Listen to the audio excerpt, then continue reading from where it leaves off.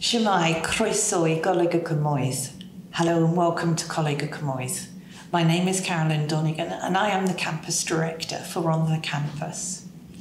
I'm so pleased to welcome you to this campus and I hope that you have a very happy year ahead of you, that you achieve your goals and that we work with you so that you are as successful as you possibly can be.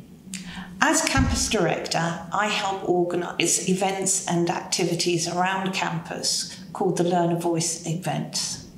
In these meetings, class representatives discuss issues and concerns and speak for themselves and other learners. Members of the Learner Voice can also become college ambassadors, helping out with public duties and events on campus.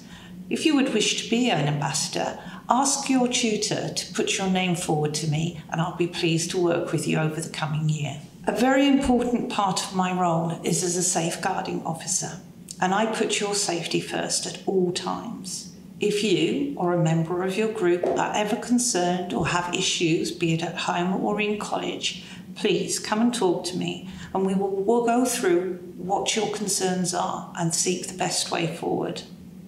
My room number is RA110, and you can find that above reception on the mezzanine floor, or alternatively, ask one of the campus services staff or your tutor, and they'll bring you to me. The start of any year is very exciting, with lots of new peoples and experiences to be had.